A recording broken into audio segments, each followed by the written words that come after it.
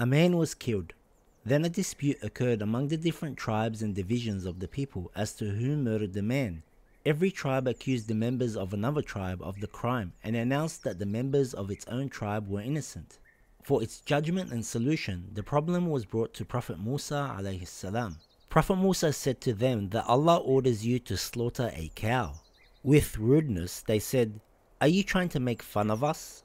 Musa said, I seek protection from Allah and I'm not one of the ignorant ones. They said, Ask your Lord to make it clear what kind of cow it is. Their rudeness indicates as if Musa salam has a different Lord from their own. Musa salam said, It is a cow not too old and not too young, but at an age in between.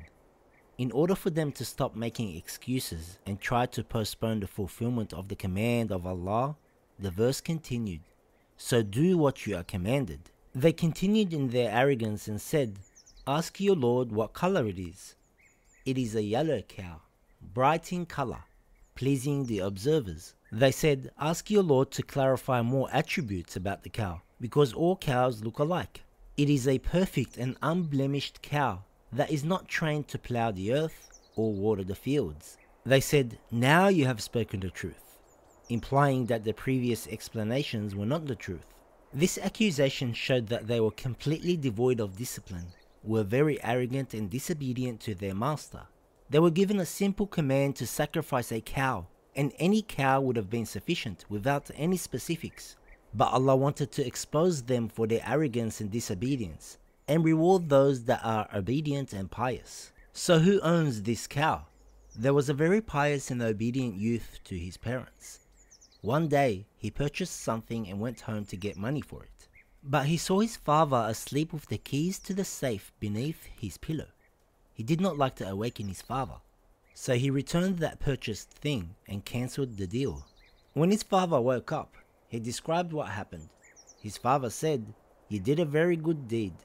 Take this cow as a gift in exchange of what you have lost. This is the cow the tribes were looking for. The tribes came to the youth to purchase it and asked for the price. It is narrated that the youth asked for two dinars. They said, We will offer you one dinar. The youth consulted with his mother and she said, Sell it for four dinars. He told them that my mother says it should be sold for four dinars. They said, We will give you two dinars. He consulted with his mother again and she said, Sell it for 100 dinars. They said, We will pay 50 dinars.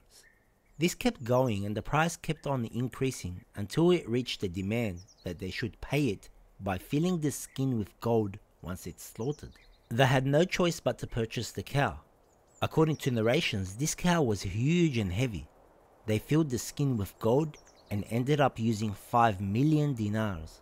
There are many lessons we can learn from this story, but the main story we want to point out is look at how Allah humiliates the arrogant and the disobedient. The disobedient people lost their whole treasury in this world just by not obeying to simple instructions due to their arrogance. They have also lost their hereafter for their disbelief. And look at how Allah rewards those who believe and obey their parents. Allah rewarded the youth a life full of treasure in this world and a permanent reward in the hereafter.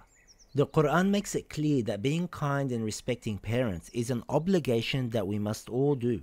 Parents go to a great deal of trouble raising and educating their children. They even put their own lives in danger to save their children.